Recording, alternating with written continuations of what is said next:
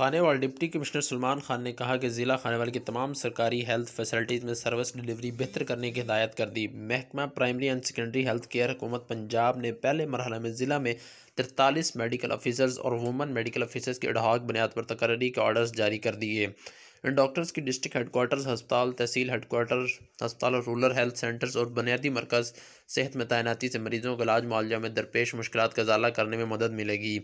उन्होंने ये बात डिस्ट्रिक्ट हेडक्वार्टर अस्पताल का अचानक मुआयना करते हुए कहा, डिप्टी कमिश्नर डी एच के अस्पताल विज़िट के दौरान trauma centre emergency wards, corona ward में भी तबी सहूलियत का जायज़ा लिया।